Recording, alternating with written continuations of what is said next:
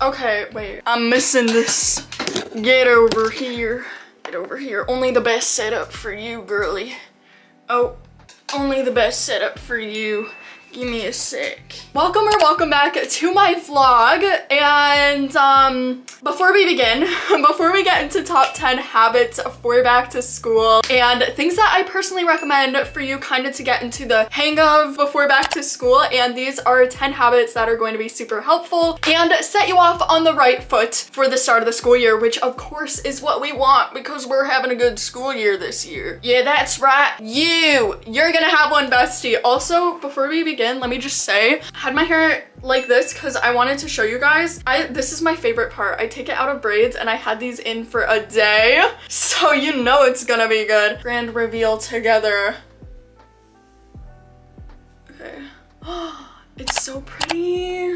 Of course, since I had them in for a day, that means my bangs are now stale. All right, all right, girly pop. All right, oh, all right. So, okay, anyways, today we have top 10 habits I recommend you get into before the beginning of the school year. And these are going to help you in ways you cannot perceive. Actually, yeah, probably in ways you can perceive. But, you know, they're going to be really helpful habits and things, again, that I recommend you do. This is just going to help you have a very smooth transition into the brand new school year and make sure you start off on the right foot. Should be good. All right, right. We're good. So without any further ado, let's get into the video then. Let's go. I'm the only one stalling here. You know what? Let's not get into the bit. No, I'm just kidding. We're gonna get into it. Let's go. I don't have like that camera cover, so I just put the sticker there. My front my front sticker is like that cute strawberry. So I feel like a little accountant in it. All right, um, yeah, where did I put this? Okay. So the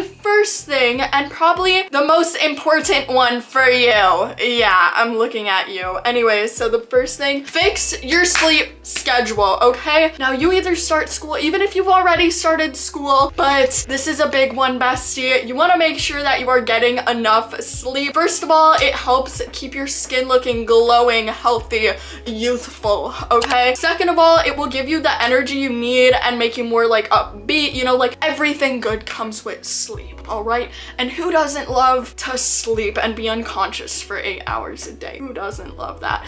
Also, when I say this, I don't necessarily mean eight hours specifically because what I've learned from experience, some people will need less than the eight hours, some people will need more, and it kind of just depends on how much sleep you need as an individual because I know some people that need like four hours of sleep. I'm not even kidding. There are some people like that. I am so jealous of them. But me personally, I need like 10 hours of sleep to go through a whole day without feeling tired. So I love that for me. I really do. But again, make sure you are going to bed and just fixing your sleep schedule. I know I'm being a hypocrite saying this because I'm going to bed at like midnight right now, but I'm fixing it. I'm fixing it now. We can fix it together, right? We're gonna fix it together. But you know, try to go to bed at a reasonable time at least and you can take this slowly, especially if you have time before the school year officially begins. But again, this is a big one just to make sure you're looking and feeling your best throughout the school day. So again, I super recommend getting enough sleep and fixing that up. All right. Good. Glad we're on the same page. I believe in you, okay? I know it's just go to bed one minute earlier every day, and in 365 days, you will be about like three hours earlier. So yes, I know, great advice, great advice. I wake up with a full face of makeup done every single day. Also, I recommend a custom ringtone because that makes it so much more fun to wake up. I have mine as a song that I like. Don't recommend using a song that you like because you will not like it when you wake up to it. But yeah, I made a little custom ringtone so it's more fun. Tip number two and habit number two is limit your screen time. Limit your screen time, bestie. I know this is another really, really hard one, but by limiting your screen time, just make sure you're staying productive on your phone. Maybe you have been procrastinating like things that you want to learn while summer is still going, like, you know, learn those and instead of being on your phone. But again, this is another like habit that will slowly build up. So limit screen screen time, you could use screen time settings. Sometimes I do that, but I just override them anyway, let's be honest. So there's like apps out there to help you more like focus and stay focused on that. I could make a video on those as well, but I personally use Forest, which I will talk about later on. Not sponsored, girly, but this is such a good app. I'm just saying like, even though it's not sponsored, this is such a good app. I use Forest all the time. I'll set like a time like one hour, edit videos, like, and then I actually edit videos for one hour because I don't want my trees to die. I want them to live. But I really recommend that app. And again, just staying mindful of your screen time. What is my screen time? Okay, yeah, I am being a bit of a hypocrite saying this. This was my last week's average, girl. I'm not even lying. Okay, can you focus? eight hours. I'm not even lying. Like, but Wednesday, this was Wednesday. This is how long I was on my phone Wednesday. So I'm gonna try to fix that myself, but again, being mindful on your phone and making sure you're using it for like, you know, YouTube or like give yourself limits to do that. I have swapped to YouTube shorts, okay? Like TikTok, I, I get pretty addicted pretty easily. Like I'll, I'll go for hours on hours on hours, but YouTube shorts, I'll go for like 30 minutes max, okay? Like it's a few years behind TikTok to say the least. Tip number three, organize your space and declutter your life. This is especially important. Okay, wait, this whole video is me. Okay, I know I need to clean my room. Okay, girly, like I'm not even lying. girly, I need to clean my room. I'm not even lying. Like this is the cleanest part of my room right now. I just make it look clean for camera. But like honestly, I feel so much better and so much more focused and refreshed when my space is clean and my room, you know, like just even if you don't, you have a lot of things and not the space to put them, I recommend I use like file folders. I just put everything in those. I put everything in like little baskets around my room and hide those, then that could definitely free up space in your living area and also thus free up space in your mind. So I really recommend this. Again, it just helps me stay focused and on track. No distractions. I'm like, oh, a candle, let me light it. Oh, uh, la, la, la. Like no distractions, okay? Okay. Tip number four is time management. Now, in this category, I specifically want to say focus on time management. Like, you know, look at your classes beforehand. So for example, if you're taking two AP classes, know that you're probably going to need to study a bit more for those. So try to like block out your time for those ahead of time and be like, okay, when school starts, I'm gonna take the first hour after school and just kind of focus on that and homework, just teaching myself the curriculum and then take a snack. You know, just have some time management. Also, I recommend getting a planner. I have tried so many time management things. Like if you want a video on that, I could do it. I could make like a one hour video on all the different things I've tried. I, I don't know, but following a plan is not necessarily easily. So again, taking this a step at a time. What I have been using recently is actually away from a physical planner. I will still use that for like personal or like base ideas. But what I like is Notion. Actually, again, not sponsored, but I have seen a lot of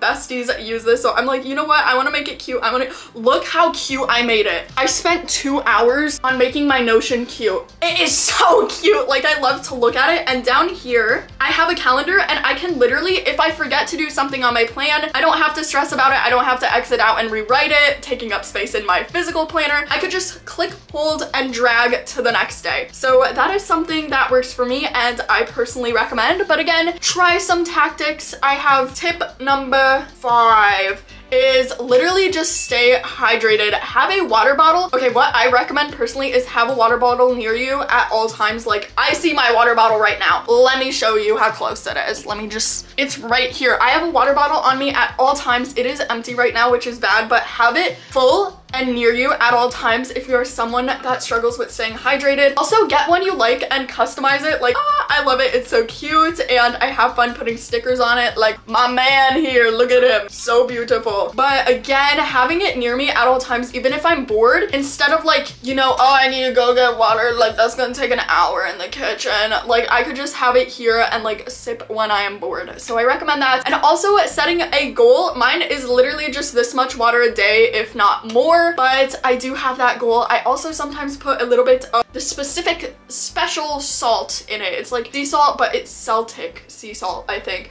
And that helps with minerals in your water, which I recommend. But again, I could do something more in-depth in a glow up series. Next, tip number six music playlist, okay? If you're someone that listens to music, or even if you're not, I recommend creating a YouTube playlist of just general songs. If you're not someone that likes specific songs, you could search like study with me, music playlist, and then add that to your own playlist or go off of someone else's pre-made playlist or create a back to school kind of theme. You know, it's just so fun to create a back to school music playlist and this could help you stay motivated and excited for back to school. Also, you could have a playlist for walking in the halls, you know, your headphones on, you could have your cute little what playlist or you could have a playlist for like like studying, some like more personally when I study, I can't listen to music with lyrics, so I'll put on something like lo-fi, lo-fi study girl. Yes, bestie, I am on that live stream sometimes.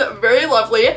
But, you know, just create yourself playlists with themes and like back home from school, just help you rom romanticize school before it even begins. So I definitely recommend that. Oh, I must have messed up the order somewhere. And this one, again, I'm going to recommend this app again, just because, okay, so study smarter. Study smarter, basically what I mean is find ways that you like to study, whether this be like Quizlet, post-it notes, note cards. I personally recommend, if you have not tried this, do it. It is life-changing and it helps me romanticize studying so much. I find a cute study with me. By the way, I will be doing those this year and I have some on my channel right now. So if you want to check it out, definitely do. And basically you put it on and you could search anything like study with me 15 minute break, study with me no break, study with me for three hours no break. And there is something. You put this video on in the background and you literally study with someone else and it is just so nice. It's like you have a friend to study with. So I definitely recommend this and it helps me focus and have way less distractions just because most of these usually have a timer. So again, I really recommend that or like timing yourself. Personally, I don't set, I set a time limit goal, but not a goal of how much I need to study, if that makes sense. Like how much curriculum I need to study. I will sit down and be like, I'm studying for an hour. Doesn't matter how far I get, if I get to chapter two, if I get to chapter seven. Doesn't matter, just studying for an hour. That has helped me. So find ways that you like to study if you like to say, I'm studying only chapter one, for 30 minutes, do that, or like I'm studying until I finish chapter one. It really depends to you, but again, I recommend that. Another second tip in this tip, Forest app. I'm saying this again, not sponsored, all right, girly, but it's so good. Let me, let me just show you. Like this has helped me so much. I've studied like five hours with this it makes me feel so much more productive. But there's different things that you could do with it. And you plant a tree. Oh my gosh, my hands shake. Oh, I did not mean to start that because if you start it and don't finish it, your tree dies. So I don't want that. Anyways, you could change the time and it will literally plant trees. It will plant virtual trees and then you could buy different trees, have your little garden. Like, oh, I love it. And also a good thing about this, it will block out certain apps that you allow it to block out. Or if you don't want it to block out apps, then it won't. But if you look on TikTok and you get distracted on your phone, it'll say, oh, your tree's dead, loser. So that really motivates me to study. Clutter your phone or old school app. Now, personally, if you are going from middle school to high school, high school to college, anything like that, there are usually a lot of different apps that your high school, middle school, whatever school requires. So I would definitely look into it and clean out any other apps. So if your school is using Canvas, Blackboard, la la la, Google Classroom, you know, down download those. Just prepare yourself a nice little folder that you'll like to look through. Also get rid of any like space consuming things on your phone that you don't need. I personally need to do this. My phone is so messy. I'm not even gonna lie. What is this? I have a full page just of widgets because I didn't know what to do with that. And then like I just put all of them in there and there's like 50, 50 apps in there. Like I need to go through and clean it. My phone is a mess. Some of them are like the cute little shortcuts and some of them aren't. But again, take away any unnecessary apps or things that are taking up space. Offloaded apps that you might not play. I definitely recommend that. Full back to school bestie is declutter your email Okay, I was one of the people and probably still am that have like 5,000 emails that are like spammed by school. Especially if you're in high school, you will get so many college emails your like last two years. So definitely look into that. Look at your email when you get them this year, okay? Do not ignore them. There are some great opportunities that your school will send you in your email, even if you're like, oh, it's just spam I was like, oh, it's just spam and I missed out on so much. So definitely look at your email. There's field trips in there, sometimes daily announcements. My school would do that. Free gift cards, literally free gift cards. I'm not kidding. That are not clickbait from actual College Board. So definitely look into that and declutter your Gmail. This will again just help you stay productive and on track. And I would take even just like three or five minutes a day when school starts for you. Look through the emails and email any teachers back, you know, take care of all that, but don't let it get out of hand because I know how easily out of hand that could get and it's very overwhelming and you never want to look at your email again, so start fresh. The last tip in this back to school habits video is tip 10, which is plan ahead for back to school. This means just make sure you have all your things in order so the last minute, last day, you're not rushing. I recommend if you want a cute outfit before back to school, plan that ahead. Just know where everything is. This also makes sure that you minimize any like unneeded stress like, oh, I forgot a notebook, I forgot a pencil on the first day. So make sure that you prepare your backpack and everything is in order and you know where everything is that you need. So I definitely recommend, even if that just means putting like one notebook and one pencil in your backpack for the first day, make sure you don't forget that. Or if you have a Chromebook, make sure you bring it so you don't have any unneeded stress, especially during that first week of school. Bye everyone, thank you so much for watching this video. I hope these habits helped you. These are just the top 10 as I've said before and um girly I love my dress. I bought it on vacation. I know. Thank you. Thank you. Like look at the sleeves. But anyways thank you for the compliment on my outfit. I love yours too. I love yours too. You're looking gorgeous today bestie I love to see you here. And I hope you have a great back to school year because we are starting strong and fresh. So as always stay tuned as I do post vlogs. And I hope you enjoyed. Bye bye I don't know how to end this.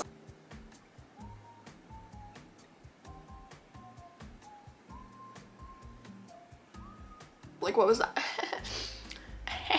okay. I'm looking at myself in the viewfinder. Bye-bye.